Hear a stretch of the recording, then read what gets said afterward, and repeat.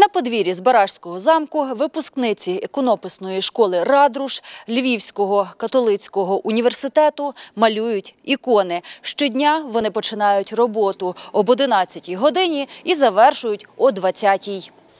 Художниці малюють за середньовічною технікою, каже Ольга Бойко-Гринчук. За її словами, за приклад беруть роботи творців західноукраїнського іконопису 14-16 століть. Жінка пише ікону Архангела Гавриїла.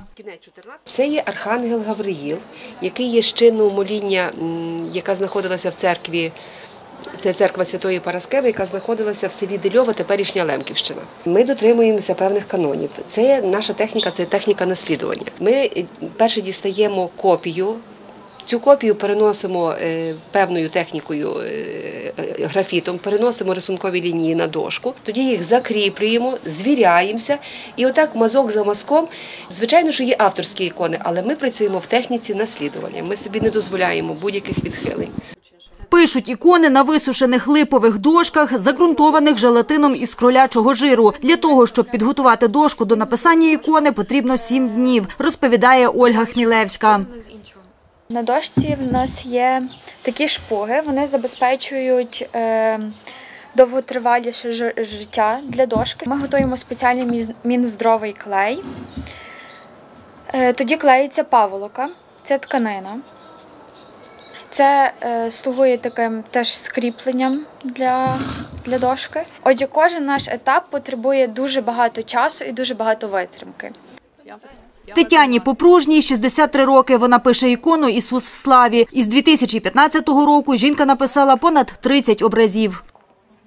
Це все дотримується традиції українського давнього малярства, візантійського малярства, тобто е, техніка жовткова темпера.